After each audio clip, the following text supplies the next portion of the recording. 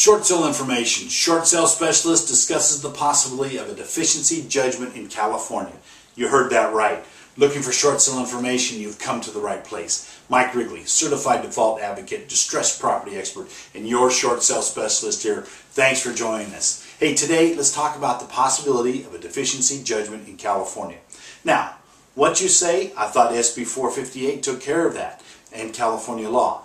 But according to trusted advisor and real estate law attorney Steven J. Beede at BPE Law, the possibility of deficiency in California is still possible under certain loan types. Steve writes in his July 2, 2012 blog, and I quote, in 2010, the California Association, Association of Realtors created a new disclosure addressing homeowner liability after foreclosure, which actually included references to short sale as well.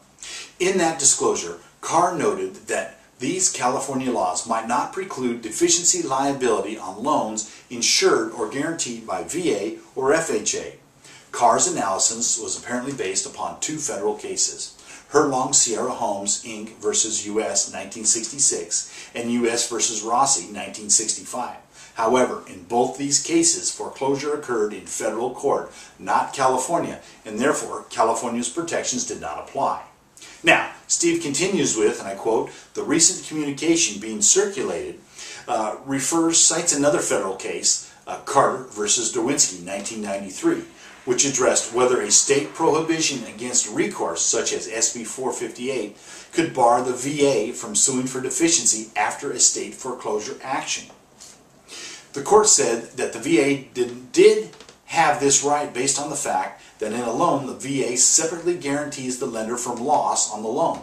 Therefore, if there is a loss, VA has recourse against the borrower on the guarantee, on the guarantee, but not the loan itself. Significantly, the court had, was very divided on this decision, and similarly, in 1998, another federal court relying on the Carter case ruled that Farmers Home Administration, FMHA, had the deficiency recourse following an Arizona trustee sale, which was U.S. versus Rezzonico.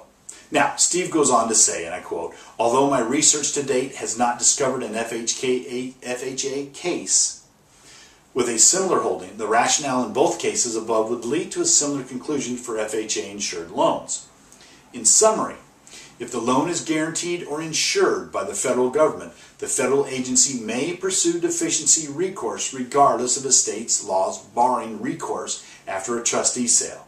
Whether that same result would occur after a short sale is not at all clear. It does not appear to have been decided in any cases as of yet. Unquote.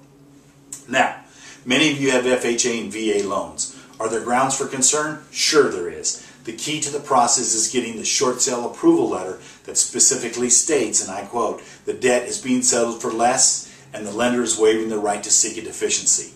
Unquote. Now, to date, all of our FHA and VA short sale approvals have had this verbiage. Again, not all short sale specialists are the same. Make sure that yours is your short sale specialist is aware of these terms. And if you need a good real estate attorney, call BPE Law in Sacramento at 916-966-2260.